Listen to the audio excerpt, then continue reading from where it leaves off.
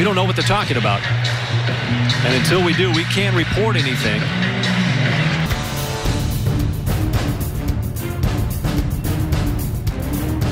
The officials now appear to be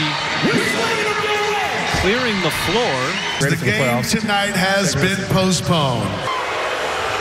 And take your time in leaving the arena tonight and do so in an orderly fashion. Thank you for coming out tonight. I'm Scott Van Pelt here at ESPN. This, this astounding and unprecedented story continues to evolve.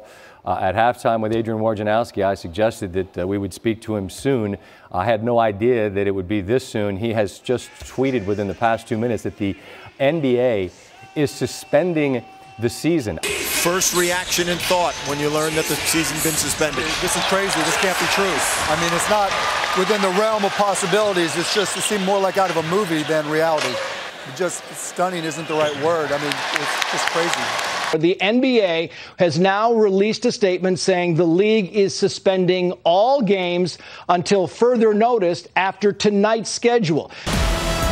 Breaking news here on CBS Sports HQ, and it is monster news. The NBA has suspended the season after Rudy Gobert has tested positive for coronavirus. Now, that's video from Monday at a press conference when Gobert was trying to joke around about the overreaction to the virus touching every mic and recorder in sight. I'm quoting here At the time, I had no idea I was even infected. I was careless and make no excuse. I hope my story serves as a warning and causes everyone to take this seriously. Another Utah Jazz player also tested positive today. A second Utah Jazz player has now tested positive. The majority of the NBA now has now come into contact with someone who has had direct contact uh, with those Jazz players. Last night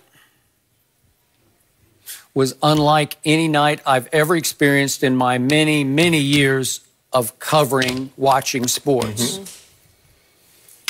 It was stunning, it was sobering, and I still haven't quite gotten over last night. Right. As a basketball fan, I'm depressed.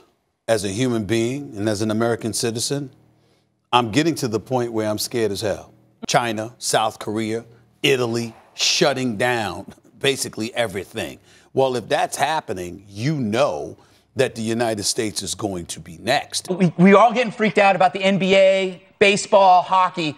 You got to understand that a lot of this stuff is legal advice so you don't get sued. Some lawyers saying you don't want this player to sue you or a corporation. You don't want somebody working here to get the virus when you could have sent him home. So all of these are just warnings.